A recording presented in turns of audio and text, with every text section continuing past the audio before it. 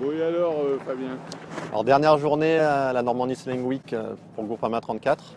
On est en tête ce matin du général, on a 16 points d'avance sur nos euh, poursuivants. Si on fait que deux manches, on est assuré de, de gagner la régate, mais bon, il est possible qu'on en fasse trois. Donc il va falloir assurer notre première manche du jour. On va avoir des conditions encore assez ventées, entre 15 et 20 nœuds. Donc voilà, belle régate en tout cas jusqu'à présent pour nous. Il faut qu'on continue aujourd'hui et qu'on valide un peu le travail qui a été fait au début de l'épreuve. Qui est derrière vous au classement et se bagarre pour la deuxième place Courrier Dunkerque est à la lutte avec Crédit Mutuel. Euh, donc je pense qu'ils vont aussi un peu se, se surveiller, donc ça va nous faciliter le- la journée. Bon, bonne journée alors Fabien. Ouais, bonne journée.